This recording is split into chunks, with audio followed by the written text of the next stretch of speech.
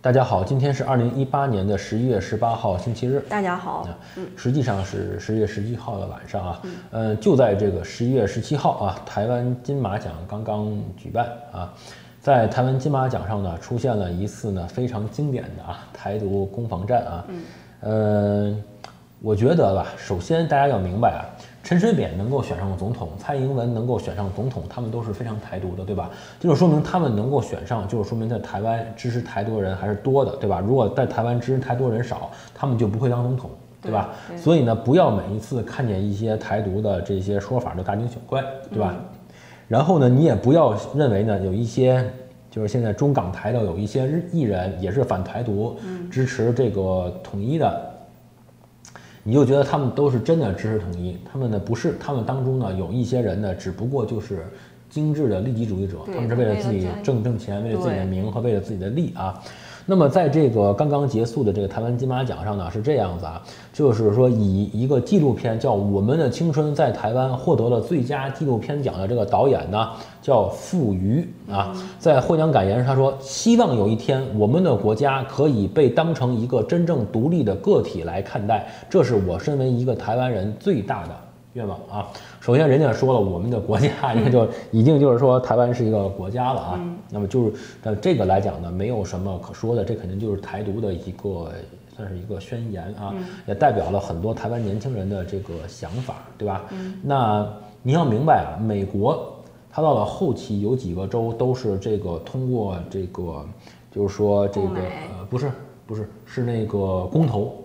通过公投加入的，有好几个州都是公投加入的，像波多黎各呢，公投了，公投了想要加入，然后美国还不要，不要，不是不是，也不能说不要吧，就是说你可以进来，但你不能算一州，对，不能算一州，你要加入我另外一个州还行，但是波多黎各一直想成为美国的一个州，他说你太小了，你不足以成为一个州，因为你要成为一个州的话，我要给你两个参议员的资格，你这么点小，这么点人，我给你两个参议员资格，这是我不能接受啊，从政治上不能接受，但是你如果想加入。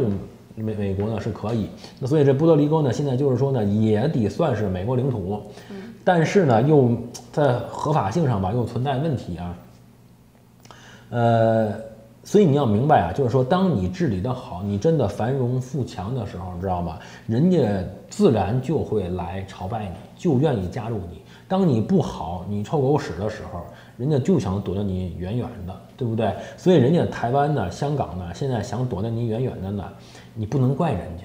对不对？你不能说你自己在粪坑里，你说哎来下来一块游泳，一块玩，一块戏耍，一起玩水，是吧？你那金黄色的，是不是？人家捏着鼻子就跑掉了，对不对？你这不能怪别人，对吧？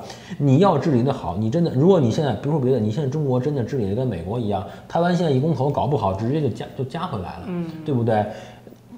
但是呢，你现在做不到，对吧？所以呢，我。再次重申，我还是认为呢，应该就是说要台湾要自治，不光台湾自治，上海、北京、香港、澳门全都要自治，新疆、西藏。全部都要自治，搞联邦制。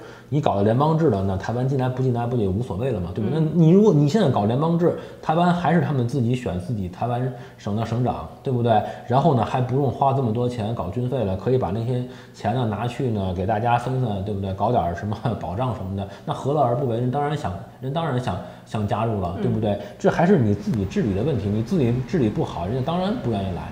对吧？所以呢，我觉得呢，也不能怪他，对吧？这个人家台湾年轻人就是这种想法的。那么呢，我觉得呢，我们看看自己这个粪坑啊，我们也也能明白，是吧？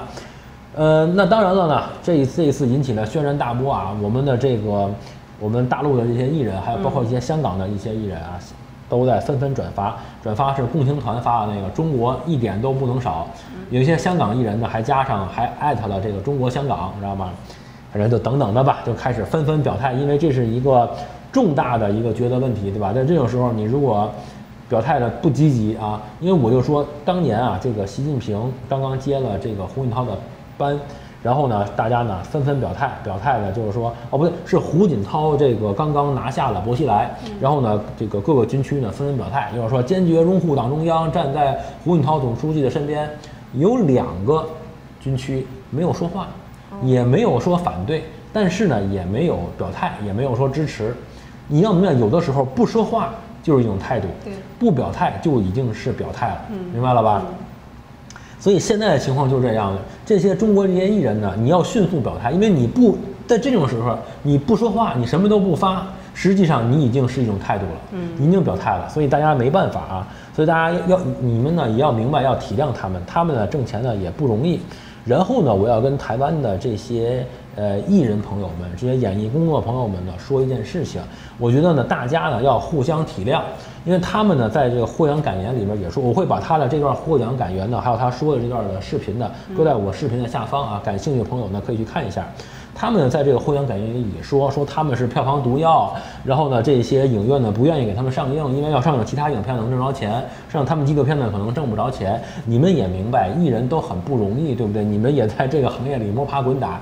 我希望你们能不能体谅体谅中国的艺人？中国的艺人大老远去你们那儿参加了金马奖容易吗？你这不想害死他们吗？最后害得巩俐都不敢上台颁奖，你知道吗？吓坏了，中国的艺人们都都吓坏了，都要一定要说我们是中国的导演，中国的影片要要强调要中国，然后纷纷转发，对吧？我就说呢，我觉得这帮人心里呢，不见得是不支持你态度，这帮人觉得是你不懂事儿。你知道吗？就这个人呢，你你你不是说你，比如你去别人家做客，别人家一说，哎，你看我老婆烧的菜好吃不好吃？人家说我操，真难吃！你老婆会不会做饭？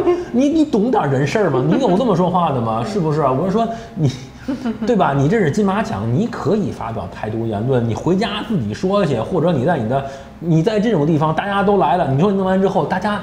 很尴尬是吧？很尴尬，你没有没有必要情商稍微高一点，我就说这个意思。我也不是说不支持你，对吧？我支持你，支持你，你能不能找一个适当的一个场合？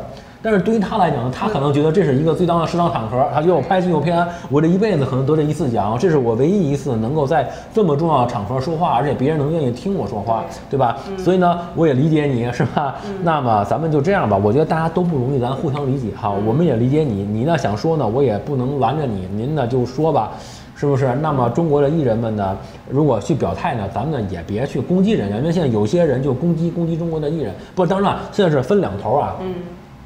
支持的就开始说：“哎呀，看我们的艺人太那个令人感动了，你知道吗？太给力了，是不是？马上就反击台独。还有一波呢，就开始骂中国的艺人们都是共产党养的走狗哈。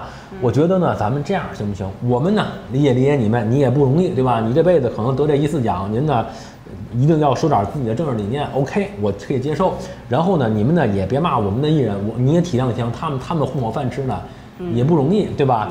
至于我们呢，你们也体谅我。我知道我这期说有可能又骂我，观众朋友们也要体谅体谅我们。我们也不容易，对不对？我们呢还是这样，我在统独的问题上，我一直都说我不支持统。我也不支持独，我支持的呢是自治，而且呢，我这个自治还是更扩大的自治，你知道吗？北京市长也应该选，天津市长，我们天津早就应该自己选市长了，瞎弄！你看我们天津这几个市长，一个比一个烂，烂透了，知道吗？张立昌真能干，要把天津变成县，你知道吗？我这积压多年的怒气，你知道吗？嗯，好吧，嗯，我觉得呢，互相理解吧，理解最重要，是吧？大家都不容易，都出来混口饭吃。是吧？嗯，好吧。那两个军区怎么着了？后来换了呗，就换了呗。啊，没有表态。还没有没有，而且不是那时候那个我忘了是哪个是云南军区是哪哈，还带着薄熙来一块搞军演呢，你知道吗？作死吗？不是。不过当年的薄嗨，薄熙来觉得啊，我有部队在后面做支撑，我不怕你敢进京。薄熙来真不应该进京。知道吗？薄熙来那时候就应该什么呀？就应该称病不出，就说我病了，我不舒服，我昨天咳嗽了，着凉了，知道吗？昨天出去遛鸟忘盖被子了，随便找个借口呗，对不对？我就是哎，对不对？嗯，忘忘不是忘忘了披着被子出去遛鸟了吗？不是遛鸟不盖被子，啊，忘了穿军大衣了。反正哎，你为吧，你就随便找个理由，你就说我病了，在重庆待着不就完了吗？对不对？你不去，你有本事你那你到重庆来抓我来，对不对？不就完了？你去北京干什么？不作死去了吗？